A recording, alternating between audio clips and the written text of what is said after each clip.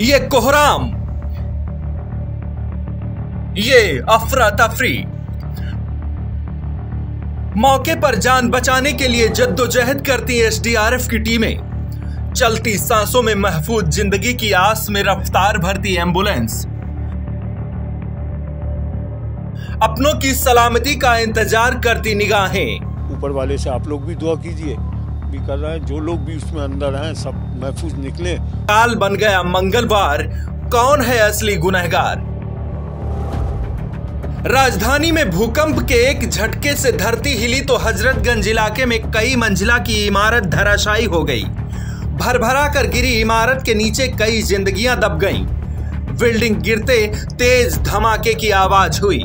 हर तरफ़ धुएँ की गुबार के बीच मलबे में फंसी जिंदगियाँ बचाने की गुहार पूरे शहर में गूंजने लगी। देखते ही देखते मौके पर शहर का प्रशासन इकट्ठा हो गया। एसडीआरएफ की टीमें मौके पर पहुँची और तुरंत राहत बचाव का काम शुरू हुआ। देखिए, तस्वीरें जो हैं, वो काफ़ी भयावह हैं। आप देख सकते हैं कि हम एकदम ग्राउंड ज़ीरो पर मौजूद हैं और ग्राउंड ज़ीरो से आपको एक्सक्लूसिव तस्वीरें दिखा रहे हैं। आप देखिए, जिस जगह पे ये लोग, तमाम लोग एसडीआरएफ और एनडीआरएफ के लोग खड़े हुए हैं, ये पाँचवा फ्लोर है। ये पाँचवें फ्लोर की छत है। तो इससे अंदाज़ा लगाया जा सकता है कि जो पाँचों फ्लोर है, वो अंदर दबा हुआ है। और मलबा इतना ज़्यादा है कि अभी भी छः घंटे से ज़्यादा, सात घंटे से ज़्यादा का समय हो गया है।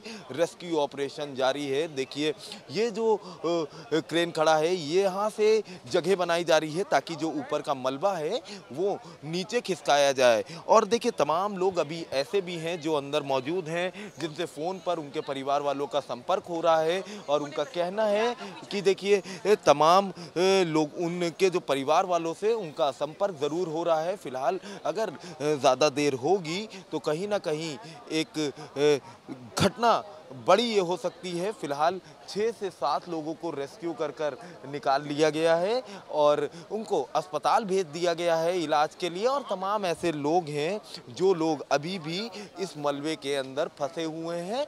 और देखिए, ऑक्सीजन दी जा रही है, पाइप के ज़रिए अंदर ऑक्सीजन दी जा रही है ताकि जो लोग अंदर फंसे हैं उनको ऑक्सीजन मिल सके। और देखिए, यहाँ पर तमाम जो पुलिस के भी अधिकारी हैं वो भी मौजूद हैं जो तमाम लोगों को क्योंकि लोग ज़्यादा इकट्ठा हो गए हैं तो उनको भी यहाँ से हटाने का जो काम है, वो पूरी तरह से जारी है। और एसडीआरएफ और एनडीआरएफ की बात करें तो बड़ी तादाद में जो एसडीआरएफ और एनडीआरएफ की टीम के लोग हैं, वो यहाँ पर मौजूद हैं और रेस्क्यू ऑपरेशन देखिए लगातार जारी है। हालाँकि अभी ये वजह नहीं पता चल पाई है कि किस कारण ये जो बिल्डिंग है अचानक से कोलैप्स हो गई और बताया जा रहा है देखिए कि दस, पंद्रह से बीस परिवार है जो यहाँ पर रहते थे और खुद एक नेता हैं सपा के, उनका भी परिवार यहाँ पर रहता था और इस हादसे में उनका जो परिवार के लोग हैं वो भी घायल हुए हैं। तमाम ऐसे लोग यहाँ पर मौजूद हैं जिनके परिवार वाले इस मलबे में अभी भी दबे हुए हैं। तो इससे अंदाज़ा लगाया जा सकता है कि कितनी बड़ी ये घटना है।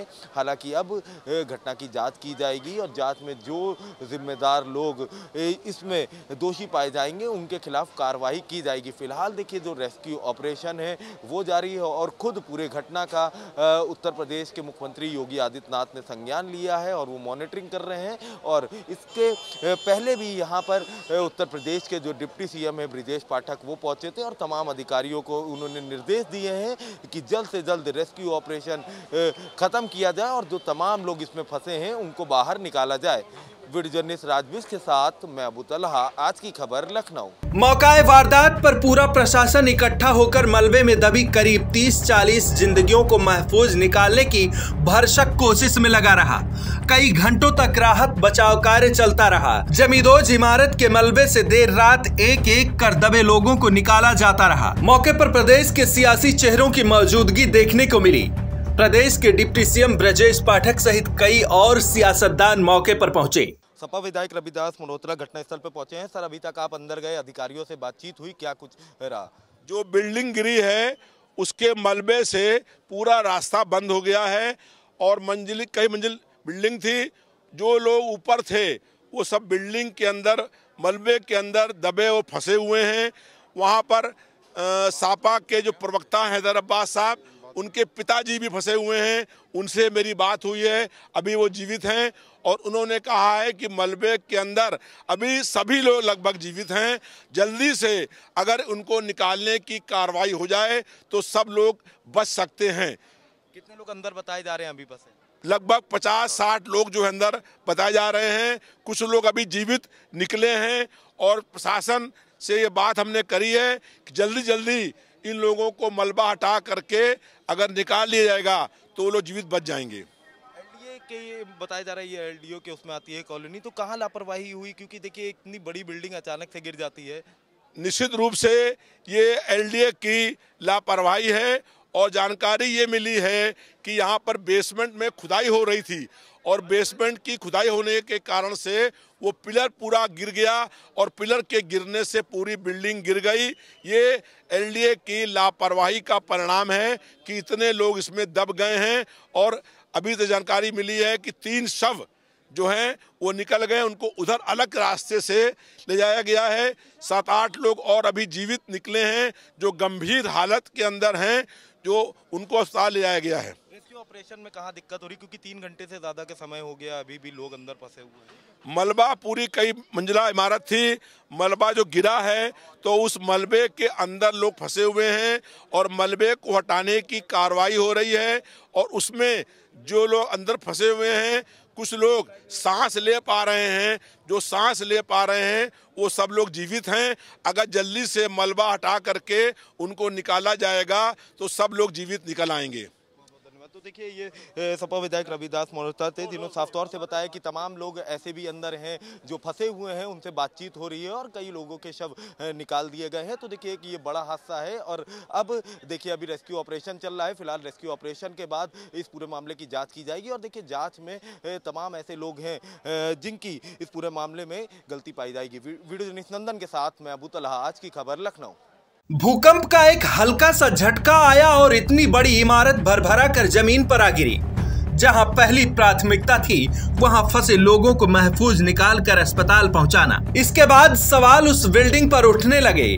पता चला कि अलाया अपार्टमेंट की यह बिल्डिंग सपा सरकार के पूर्व मंत्री शाहिद मंजूर के बेटे और भतीजे की ज़मीन पर खड़ी की गई थी, जिसे शहर के सबसे बदनाम यजदान बिल्डर्स ने बनाया था, जिस पर अवैध निर्माण और सरकारी ज़मीन कब्जाने के अक्सर आरोप लगते रहते हैं। यजदान का दागदार इतिहास पुराना है। राजधानी लखनऊ में इससे पहले भी बिल्डर की बनाई इमारतों को तोड़ा और सील किया जा चुका है। इस हादसे के लिए जितना जिम्मेदार बिल्डर है, उतना ही जिम्मेदार प्रशासन को भी ठहराया जा सकता है। क्योंकि प्रदेश सरकार ने बहुत पहले ही जर्जर इमारतों को जमींदोज करने का आदेश दे दिया था। इसके बावजूद भी लखनऊ विकास प्राधिकरण की साठगांठ के चलते ऐसी इमारतें महफूज रहीं। आरोप के मुताबिक ये बिल्डिंग कमज़ोर ढांचे पर खड़ी की गई थी। बताया ये भी जा रहा है कि पिछले कुछ दिनों से बिल्डिंग के निचले हिस्से में खुदाई भी की जा रही थी। हादसे में आधिकारिक तौर पर दो मौतों की पुष्टि की जा चुकी है। बाकी घायलों का अलग अलग अस्पतालों में इलाज चल रहा है। वहीं हादसे को लेकर जिम्मेदारों के खिलाफ प्रदेश सरकार कठोर कार्रवाई की तैयारी कर रही है। मामले की जाँच के लिए सरकार की तरफ़ से तीन सदस्यीय कमेटी गठित कर दी गई है। साथ ही पुलिस पूर्व मंत्री शाहिद मंजूर के बेटे नवाजिश को मेरठ से गिरफ़्तार कर लिया है। वहीं पूर्व मंत्री के भतीजे की तलाश जारी है। राजधानी के भीतर हज़ारों टन के बोझ तले से निकली चीख पुकार के लिए असल गुनाहगार कौन है? मौत को लेकर मातम का खतावार कौन है? कौन है जिसने जमीदोज हुई इमारत की बुनियाद में जिम्मेदारियों की ईट रखने में लापरवाही की? इसकी पुख्ता जाँच होनी चाहिए और गुनहगारों को उनके गुनाह की सजा मिलनी चाहिए। Bureau report, Prapanch TV.